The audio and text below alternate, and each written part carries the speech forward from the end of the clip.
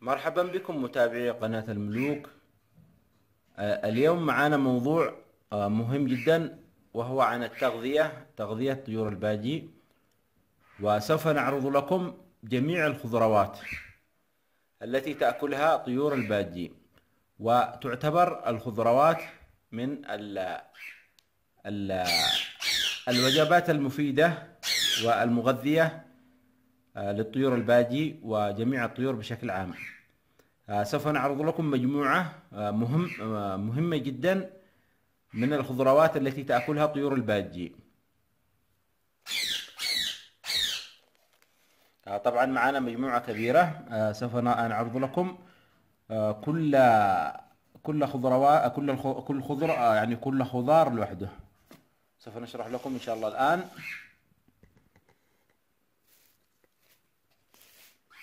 اولا نبدأ بأوراق الفجل. طبعا هذا الفجل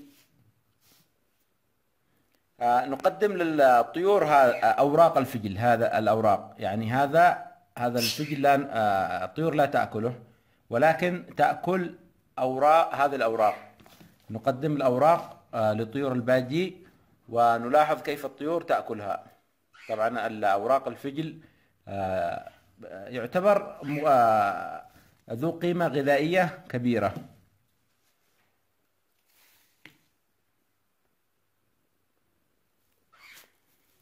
البقدونس.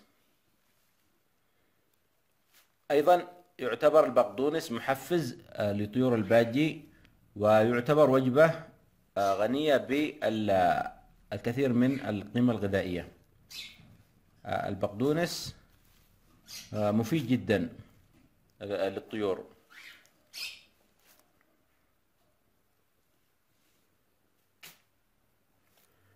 النعنع هذه أوراق النعناع. أيضا تعتبر آه، مغذية ومفيدة وأيضا تعتبر علاج آه، للطيور. يعني فيها قيمة آه، غذائية وأيضا يوجد بها قيمة علاجية.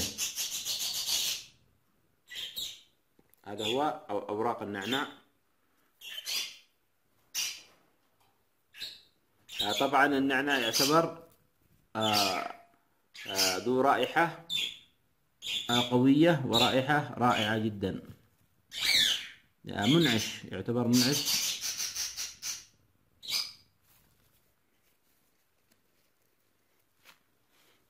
الجرجير. الجرجير ذكرنا لكم في أكثر من مقطع وهو يعتبر محفز رهيب جدا. لطيور الباجي وأيضا آه، آه، لجميع الطيور. لجميع الطيور يعتبر محفز رهيب.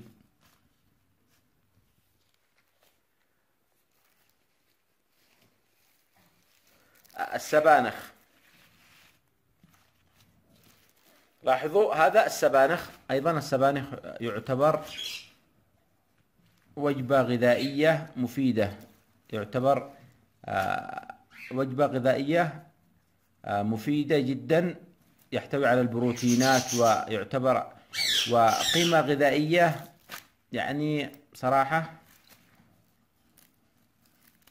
لا توصف. آه لاحظوا الفرق بين الجرجير هذا الجرجير والبروكلي. البروكلي أوراق طويلة وكبيرة والجرجير يعتبر أوراقه صغيرة. وأيضا آه تلاحظ من خلال الطعم. الطعم يختلف. طعم الجرجير يختلف عن طعم البروكلي.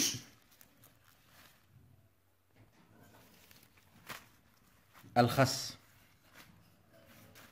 أيضا من الوجبات التي تحبها طيور الباجي وتعشقها كثيرا.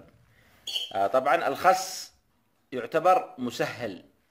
يعني لا نعطي الخس للطيور إلا في فترات معينة. ممكن يومين أو ثلاثة أيام في الأسبوع فقط. أو إذا كانت الطيور عندها إمساك تعاني من الإمساك آه، فإن الخس يعتبر مفيد جدا في هذه الحالات.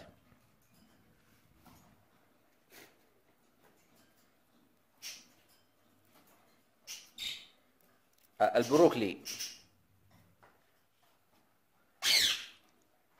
طبعا البروكلي يعتبر وجبة غنية بالفيتامينات ويوجد في هذا في هذه الشجرة العجيبة سبحان الله الكثير من القيمة الغذائية.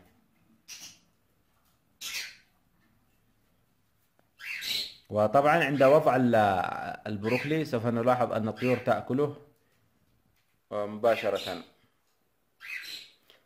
آه، طبعا سوف نلاحظ أن بعض الطيور بعض الطيور لا تتقبل بعض الخضروات. يعني مثلا آه، طيور الباجي مثلا عندي تأكل البروكلي عند مربي ثاني لا تأكل البروكلي. فتحتاج إلى فترة حتى تتعود على أكل هذه الخضروات. فقد تحتاج إلى فترة.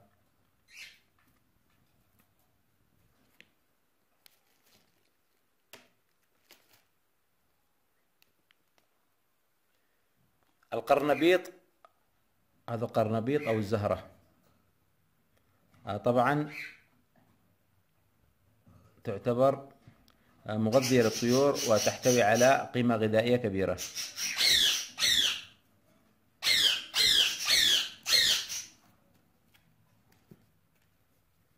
الجزر. آه، طبعا الجزر يعتبر محفز وأيضا مهم جدا للطيور في مرحلة غيار الريش. إذا كانت الطيور عندك في مرحلة القلش تبديل الريش فأنصح بوضع الجزر بشكل مستمر لهم. الخيار. الخيار يعتبر آه، من الخضروات المفيدة ولكن سوف نلاحظ أن أكثر الطيور لا تأكلها. ضعها للطيور باستمرار وسوف تأكلها إن شاء الله.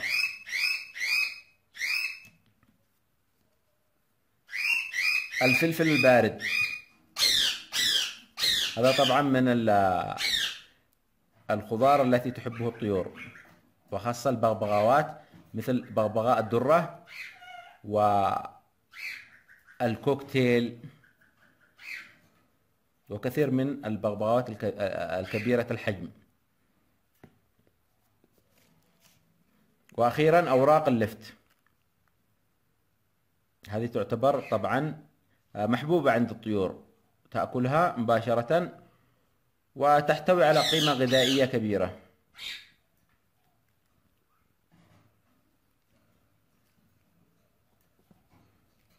آه، طبعا عرضنا لكم أهم الخضار التي آه، أنا أستخدمها وأضعها للطيور. ولاحظ أن الطيور تأكلها مباشرة. هذا ونتمنى لكم الفائدة وانتظرونا في مقطع قادم إن شاء الله.